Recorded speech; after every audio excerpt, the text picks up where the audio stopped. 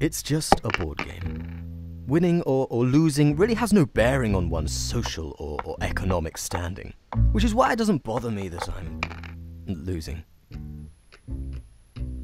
Oh, great. Who owns this one?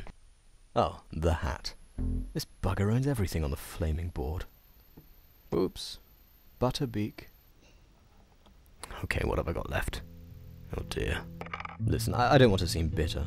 I, I fully accept there's a degree of skill required in playing this game, but, but so much of this is down to chance. Oh. Could this be Lady Luck finally smiling up? Oh, this game is stupid. They're all stupid. Oh, hey, do you have a spare 50? I just need bailing out. Oh, you're ignoring me. Look at these idiots. Those things tell them where to go and they just do it. Which, actually, gives me the upper hand. I decide my own actions, not some spotty little gimp. Ha! It worked! Hello, Pooch.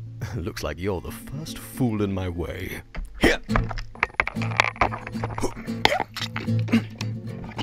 Okay, listen up! This money is worthless. Wealth is an illusion. You're living uh, in a simulation. Uh, Dave Benson Phillips is the true heir to the throne. Okay, who threw that?